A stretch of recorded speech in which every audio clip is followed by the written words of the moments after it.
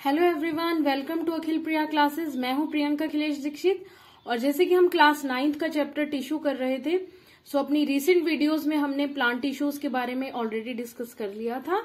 उसे आप चैनल की वीडियो प्लेलिस्ट में जाकर क्लास नाइन्थ टिश्यू को प्लेलिस्ट को ओपन करके चेकआउट कर सकते हैं।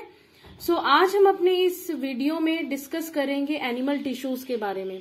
सो एनिमल टिश्यूज को डिस्कस करने से पहले हम डिस्कस कर लेते हैं कि इस चैप्टर में हम एनिमल टिश्यू के अंदर किस किस के बारे में डिस्कस करेंगे।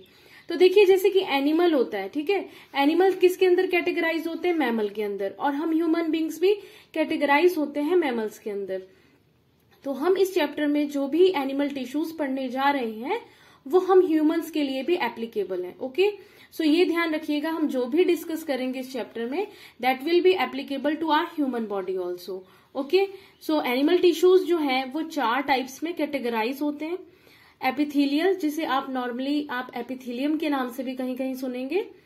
मस्क्यूलर कनेक्टिव एंड नर्वस ये चार टाइप्स के एनिमल uh, टिश्यूज जो है हम पढ़ेंगे.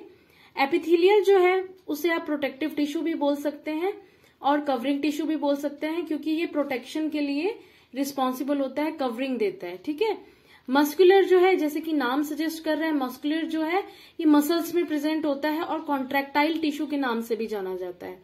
क्योंकि आपको पता है कि जो हमारे मसल्स होते हैं, वो कॉन्ट्रेक्टाइल होते हैं और क्या करते हैं? रिलैक्स करते हैं। तो that is why muscular tissues is also known as contractile tissue connective tissue connective tissue का जो नाम है कनेक्टिव टिश्यू का जो नाम है, उससे हमें यही पता चल रहा है कि ये पैकिंग टिश्यू होता है एक तरह से। ठीक है? ये दो चीज़ों को आपस में क्या करेगा? कनेक्ट करेगा, उन्हें पैक कर देगा। ओके सो इस वजह से इसे क्या कहा जाता है? पैकिंग टिश्यू नर्वस या फिर नर्व सेल जो है, वो कोऑर्डिनेशन के लिए रिस्पॉन्सिबल होता है हमारी बॉडी में। जितने भी मैसेजेस हमारा ब्रेन जो है बॉडी को दे रहा है डिफरेंट ऑर्गन्स को दे रहा है that will be coordinated by our brain यानी कि नर्वस सेल इससे कोऑर्डिनेट हो रहे हैं। इस वजह से इसे क्या बोलते हैं? कोऑर्डिनेट टिश्यू तो हम इस वीडियो में आज डिस्कस करेंगे एपिथेलियल टिश्यू को और उसके क्या क्या टाइप्स होते हैं, क्या रोल है, क्या फ़ंक्शन है, इसको डिस्कस करते हैं। तो चलिए वीडियो को एंड तक देखिएगा। एपिथेलियल टिश्यू जो है, उसे हम प्रोटेक्टिव कवरिंग फॉर्म में होता है जो कि क्या करता है प्रोटेक्शन देता है एक कॉन्टिन्यूस शीट के रूप में ओके? ये कॉन्टिन्यूस शीट होती है जो कि क्या करती है प्रोटेक्ट करती है कवर करती है टिश्यूज को। सो so, इसका मतलब है अगर वो कवर कर रही है तो वो क्या होगी? वो आउटर सरफेस पे होगी। और इसके साथ ही क्या होता है ये मोस्ट ऑर्गन्स और कैविटीज जो होते हैं बॉडी के अंदर उनको कवर करती है प्रोटेक्शन देती है ठीक है? और उसके साथ ही क्या करती है, एक बैरियर फॉर्म करती है। बैरियर किस चीज़ का? कि जो डिफरेंट डिफरेंट ऑर्गन्स हमारे बॉडी के अंदर हैं, उन्हें क्या है, हम इजिली डिफ्रेंशिएट कर सके सेपरेट हो जाएँ, जिसकी वजह से हमें क्या है इजिली हम फाइंड आउट कर सकें कि कौन सा कौन सा ऑर्गन है। ठीक है? तो ये एक बैरियर बनाती है कि हाँ सेपरेट करती है एक ऑर्गन को दूसरे ऑर्गन से। जैसे कि स्किन होता है, ये भी क्या है, एक प्रोटेक्टिव शील्ड है हमारी बॉडी के अंदर तो ये क्या है एपिथेलियल टिश्यू है। उसके साथ ही जो हमारी लाइनिंग ऑफ़ माउथ है माउथ के अंदर जो लाइनिंग है दैट इज़ ऑल्सो क्या कर रही है? टीथ्स को और हमारे माउथ को डिफ्रेंशिएट कर रही है सेपरेट कर रही है। लाइनिंग ऑफ़ ब्लड वेसल्स है। इसी तरह हम और भी कई एग्ज़ाम्पल जो है, उन्हें डिस्कस करेंगे। ठीक है? ये सेल्स जो होते हैं, वो क्या होते हैं? बहुत ही टाइटली पैक होते हैं। इनमें जो आप स्ट्रक्चर देखेंगे तो वो स्ट्रक्चर हम जब आगे भी पिक्स में देखेंगे तो क्या होगा? ये सेल्स जो होते हैं, बहुत ही टाइटली पैक होते हैं। और कॉन्टिन्यूस शीट बनाते हैं, ठीक है? ऐसा नहीं होता कि कॉन्टिन्यूस नहीं है। अलग अलग जगह बिल्कुल सेल्स जो है, बहुत ही टाइटली पैक होकर कॉन्टिन्यूस शीट बनाते हैं। फिर उसके साथ ही के small amount of cementing material between them अब आपको याद होगा कि हमने जब प्लांट टिश्यू पढ़े थे तो हमने उसमें पढ़ा था कि जो सीमेंटिंग टिश्यू या सीमेंटिंग मटेरियल होता है, वो क्या होता है? लिग्निन ठीक है? जो क्या करता है? हार्डनेस देता है प्रोटेक्ट करने के लिए। तो जो एपिथेलियल टिश्यू होता है, उसमें जो सीमेंटिंग मटेरियल होता है, वो बहुत कम अमाउंट में होता है। आप देख सकते हैं कि जो हमारी स्किन है, वो क्या है? आउटर कवरिंग है, वो प्रोटेक्शन दे रही है। तो उसमें क्या है? इस सीमेंटिंग मटेरियल का बहुत ही कम अमाउंट है। दैट इज़ वाई हमारी स्किन क्या होती है? सॉफ्ट होती है। अगर यही सीमेंट सीमेंटिंग मटेरियल जो है बढ़ जाए, इसकी मात्रा बढ़ जाए क्वांटिटी सो क्या हो जाएगा? हमारा स्किन जो है वो काफ़ी हार्ड हो जाएगा। लेकिन ऐसा नहीं होता है। सो इसका मतलब है कि जो सीमेंटिंग मटेरियल है एनिमल टिश्यूज में, या हम ये कह सकते हैं एपिथेलियल टिश्यू में तो वो क्या होता है? बहुत कम होता है, जिसकी वजह से हमारी स्किन बहुत सॉफ्ट होती है। Almost no intercellular spaces because क्योंकि बहुत ही टाइट पैक होता है। टाइट पैक होता है और साथ ही क्या होता है कॉन्टिन्यूस शीट बना रहा है। तो इसकी वजह से क्या इंटरसेल्युलर स्पेसिस जो होती हैं, वो बिल्कुल भी नहीं होती है, बिल्कुल ना के बराबर होती हैं। और जो ये सेपरेट होते हैं, जैसे टिश्यूज क्या है, एक दूसरे टिश्यू से सेपरेट होंगे तो उनके नीचे क्या है बेसमेंट मेम्ब्रेन आपको दिखाई देगी, ठीक है? तो एक दूसरे से किस मेम्ब्रेन से सेपरेट होते हैं? बेसमेंट मेम्ब्रेन से। ये एपिथेलियल टिश्यू जो है, ये एक बहुत इंपॉर्टेंट रोल प्ले करते हैं exchange of material between the body and the environment यानी कि बॉडी और एनवायरमेंट के बीच में कोई भी मटेरियल का एक्सचेंज होगा, उसमें क्या है पूरा हेल्प करते हैं और उसके साथ ही क्या है बॉडी के और बॉडी के अदर पार्ट्स में जो भी कुछ एक्सचेंज होना है मटेरियल्स उसमें भी ये फैसिलिटी प्रोवाइड करते हैं। सो आई होप कि इतना आपको क्लियर हो गया होगा। आप अगर चाहें तो इसका स्क्रीनशॉट ले सकते हैं और अपने नोट्स प्रिपेयर कर सकते हैं। सो so, अब अगर हम बात करते हैं एपिथेलियल टिश्यू की तो एपिथेलियल टिश्यू भी जो है वो आगे चार कैटेगरीज में कैटेगराइज है ओके तो एपिथेलियल टिश्यू जिसे हम प्रोटेक्टिव टिश्यू के नाम से भी जानते हैं या फिर कवरिंग टिश्यू के नाम से भी जानते हैं और कहीं कहीं आप इसे एपिथेलियम के नाम से भी सुनते होंगे।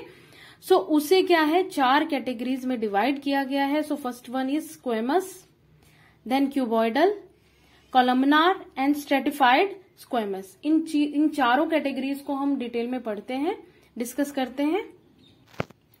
तो सबसे पहले कैटेगरी हमारे पास स्क्वेमस एपिथेलियल टिश्यू तो ये देख सकते हैं, जैसे हमने पहले अभी पीछे बात की है डिस्कस किया था हमने कि सेल्स जो हैं बहुत ही क्लोजली पैक्ड होते हैं। यहाँ पे आप स्ट्रक्चर में देख सकते हैं कि सेल्स जो है इतना क्लोजली पैक्ड है, इनका जो कंटिन्यूस शीट बना रहे हैं, और क्या होता है, इनके बीच में इंटर सेलुलर स्पेसिस बिल्कुल भी नहीं दिखाई दे रही। सो so, यहाँ आप देख सकते हैं स्ट्रक्चर में। सो स्क्वेमस एपिथेलियल टिश्यू जो है इनमें क्या है? एक्सट्रीमली थिन होती है। ये एक लेयर होती है ठीक है? लेयर ऑफ़ सेल्स है। लेयर ऑफ़ सेल्स है जो कि क्या है? एक्सट्रीमली थिन है। यहाँ पर आप देख सकते हैं सेल्स जो है कैसे हैं? फ्लैट इन स्ट्रक्चर है ओके इरेगुलर शेप है। यहाँ पे आप कोई बोल नहीं सकते हैं कि हाँ ये ओवल है या सर्कल है या क्यूबाइडल है जो हम आगे पढ़ेंगे। सो so, यहाँ पर क्या इरेगुलर शेप है। सो so, ये स्क्वेमस एपिथेलियल टिश्यू क्या हो गया? एक्सट्रीमली थिन होता है सेल्स जो होते हैं वो फ्लैट होते हैं और इरेगुलर शेप के होते हैं। ये जो ब्लैक ब्लैक आपको दिखाई दे रहा है ये क्या है? इनके बीच में जो सेल के अंदर क्या है? न्यूक्लियस प्रेजेंट है। जो स्क्वेमस एपिथेलियल टिश्यू है वो भी क्या है? फर्दर दो कैटेगरीज में डिवाइड है। Okay okay? एक होता है सिंपल स्क्वेमस एक होता है स्ट्रेटिफाइड स्क्वेमस अब देखिए इनके बीच का डिफरेंस क्या है इन दो में? तो देखिए, सिंपल स्क्वेमस क्या होगा? अगर आप एक्सट्रीमली थिन और फ्लैट लेयर ले रहे हैं, ठीक है? अगर एक ही लेयर ले रहे हैं तो दैट इज़ सिंपल स्क्वेमस ध्यान दीजिएगा, अगर आप एक ही कोई थिन लेयर ले रहे हैं, जिसमें सेल्स जो है फ्लैटली अरेन्ज्ड हैं so that will be simple squamous और क्या होगा, ये डेलिकेट लाइनिंग जो है, उसको बनाएँगे फॉर्म करेंगे ओके डेलिकेट लाइनिंग फॉर्म करेंगे, क्योंकि सिंगल लेयर है। ये प्रेजेंट होता है ओसोफेगस में या फिर लाइनिंग ऑफ़ माउथ आपने देखी होगी, आपकी लाइनिंग जो है माउथ के अंदर, वो क्या है? सिंपल लेयर है ओके सिंगल लेयर प्रेजेंट है। अब स्ट्रेटिफाइड स्क्वेमस इसको देखिए आप। स्ट्रेटिफाइड क्या होगा? जब इस तरह की कई सारी लेयर हम एक दूसरे के ऊपर अरेंज कर देंगे। Cells are arrange in layer अब जैसे कि हम क्या कर देंगे? लेयरिंग कर देंगे सेल्स की। इसी सिंपल को हम काफ़ी सारे अरेंजमेंट दे देंगे, यानी कि एक के ऊपर एक लेयर्स दे देंगे। तो वो क्या बना देगा? स्ट्रेटिफाइड स्क्वेमस स्ट्रेटिफाइड क्या है? स्ट्रेटिशन से बना है, ठीक है? सो ये क्या करता है? प्रिवेंट करता है वियर एंड टीयर यानी कि बहुत हमारी बॉडी के अंदर क्या है? एक अच्छी खासी प्रोटेक्शन हमारे को प्रोवाइड करता है, जैसे कि हमारी स्किन है ओके काफ़ी सारी लेयर है हमारी स्किन में ओके सो ये होता है स्ट्रेटिफाइड सो आई होप कि स्क्वेमस एपिथेलियल टिश्यू आपको क्लियर हो गया होगा कि ये क्या होता है? एक थिन लेयर होती है जिसमें क्या है? सेल्स जो है इरेगुलर शेप के होते हैं और फ्लैट होते हैं. सिंपल और स्क्वेमस में सिंपल और स्ट्रेटिफाइड में इसको डिफ्रेंशिएट किया गया है फर्दर डिवाइड किया गया है.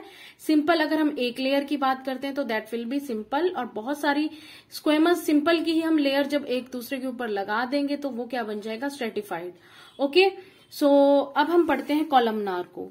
तो कॉलमनार में देखिए यहाँ पर आपको देखो स्ट्रक्चर जो दिखाई दे रहा है उसमें क्या दिख रहा है आपको? कॉलम यानी कि टॉल एपिथेलियल सेल्स जो है आपको दिखाई दे रहे हैं ठीक है?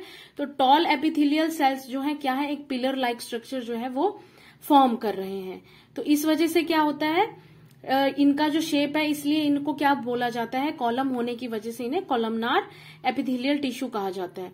ये किस लिए अक्कर होते हैं? ये करते हैं सबसे इम्पोर्टेंट रोल इनका जो इम्पोर्टेंट रोल है वो क्या? एब्जॉर्प्शन करते हैं और सिक्रीशन करते हैं। सिक्रीशन किस चीज़ की होगी बॉडी के अंदर?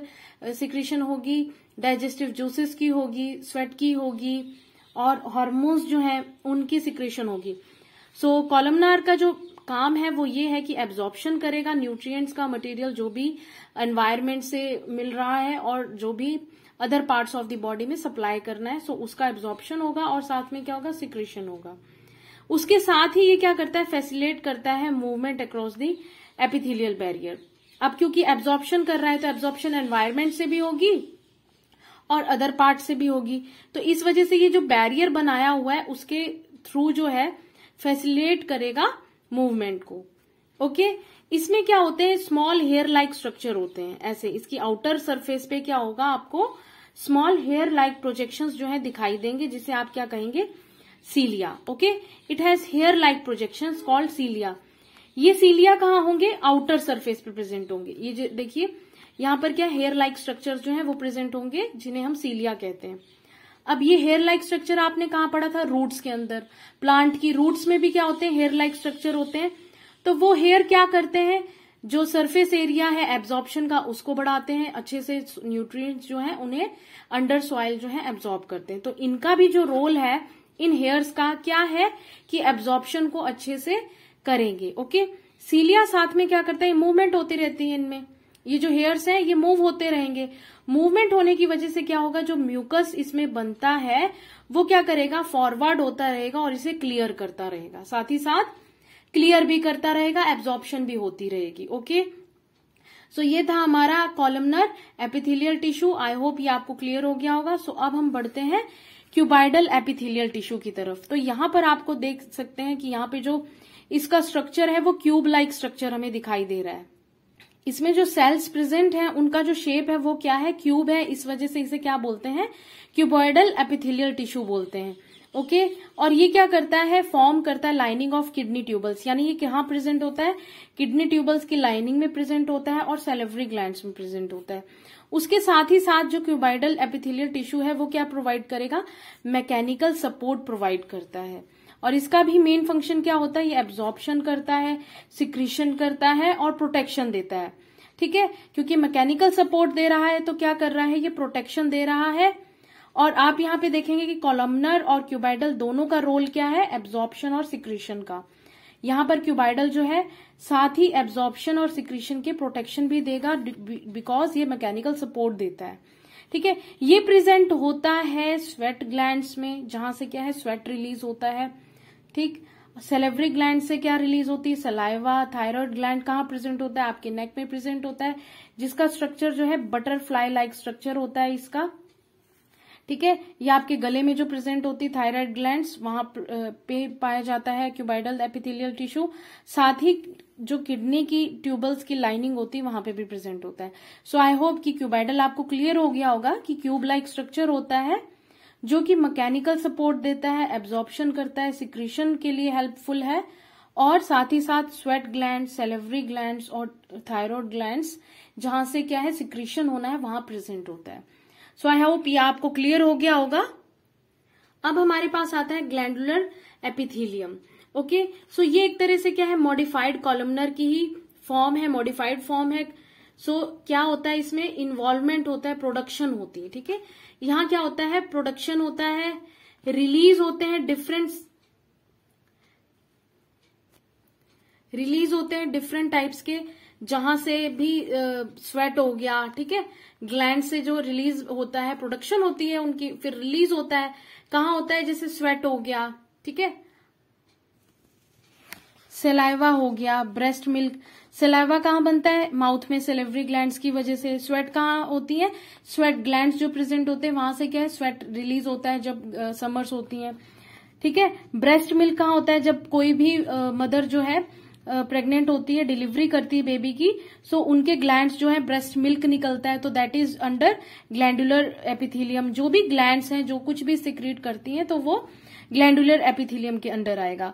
हार्मोन्स जो है डिफरेंट टाइप्स ऑफ़ हार्मोन्स जो हमारी बॉडी के अंदर रिलीज़ हो रहे हैं, उनका जो प्रोडक्शन है, वो सारा कुछ किसके अंडर आता है? ग्लैंडुलर एपिथीलियम के अंदर because this is the modified form of columnar so I hope कि आपको क्लियर हुए होंगे कि एपिथेलियल टिश्यू जो है, उनका क्या रोल होता है, कितने तरह के होते हैं, आपको क्लियर हुआ होगा। अगर आपको वीडियो अच्छी लगी तो प्लीज़ वीडियो को जल्दी से जाके वीडियो को लाइक करिए फ्रेंड्स के साथ शेयर करिए कमेंट बॉक्स में बता सकते हैं आप, अगर कोई क्यूरी है सजेशन है प्लीज़ आप बता सकते हैं। और साथ ही साथ आप मुझे इंस्टाग्राम अखिल प्रिया क्लासेस पे फॉलो कर सकते हैं। एंड मेरे चैनल को सब्सक्राइब करिए अगर आप मेरे चैनल पे नए हैं। Thank you for watching this video